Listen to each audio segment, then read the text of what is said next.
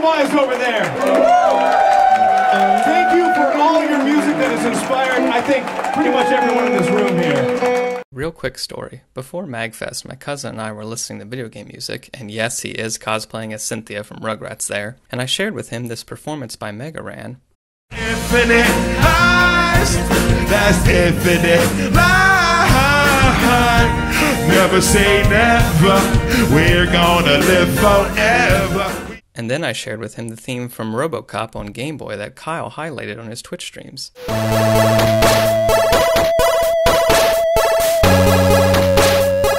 My cousin noticed that it's the same song, and he's right. Listen again and pay attention to the keys. This is a song called Infinite Lives. Now, I would love for you guys to put a hand in the air and then go side to side, go infinite lives.